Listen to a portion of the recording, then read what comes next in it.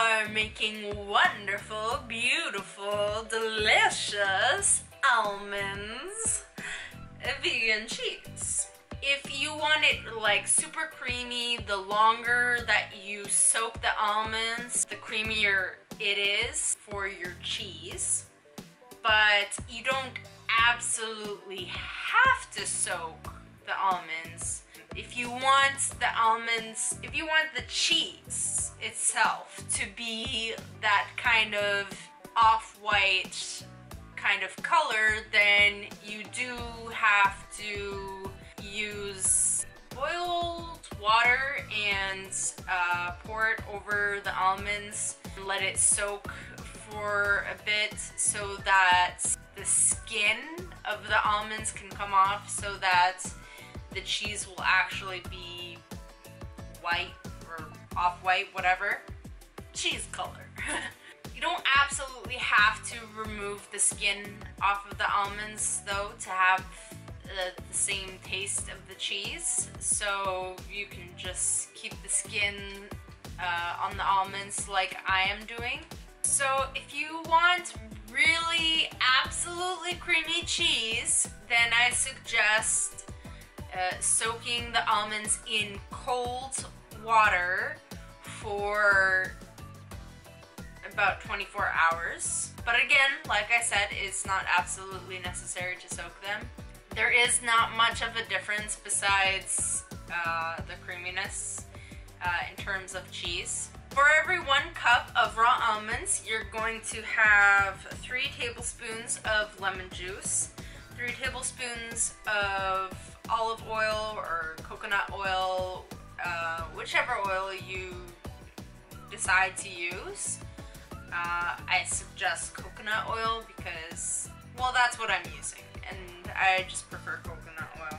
Three quarters, three quarters of a teaspoon of salt. Uh, I'm using pink Himalayan salt in, this recipe, and half a cup of water. Uh, now these measurements are for every for every cup of almonds that you have. And in this recipe, I actually have six cups of raw almonds.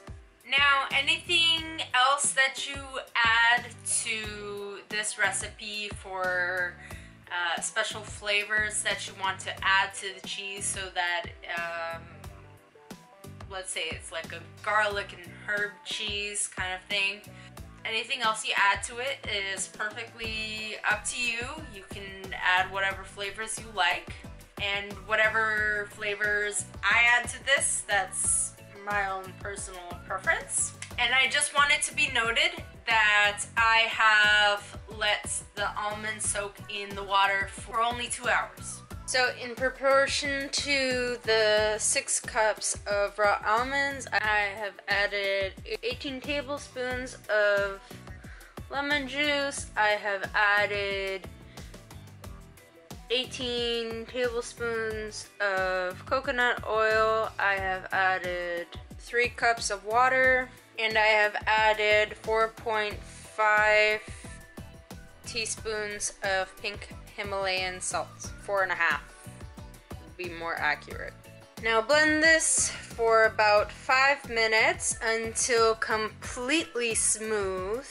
As you can see here, I've taken about half of what I've put into the blender and uh, put it into a container to finish blending the previous half. I've also added a clove of fresh garlic to this blender as well as a couple of spoons of nutritional yeast and I've done the same to this one as well. Uh, I will blend this after uh, putting this away to become firm.